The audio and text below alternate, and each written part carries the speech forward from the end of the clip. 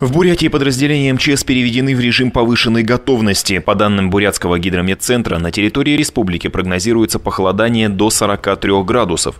По словам сотрудников МЧС, основные силы и средства будут сосредоточены для оперативного реагирования на чрезвычайные ситуации, происшествия и пожары. Проверена готовность техники, имущества и средств связи оперативных групп к выезду и работе в районах возможных ЧС. Также проверены и подготовлены к эксплуатации мобильные пункты обогрева.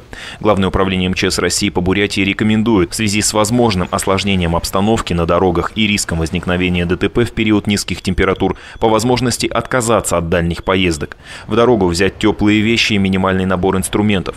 Помните, что в сильные морозы облака пара и выхлопных газов автомобилей значительно снижают видимость на дороге. В связи с этим избегайте резких маневров, соблюдайте скоростной режим и достаточную дистанцию. При возникновении происшествий или чрезвычайных ситуаций немедленно сообщайте по телефону 101.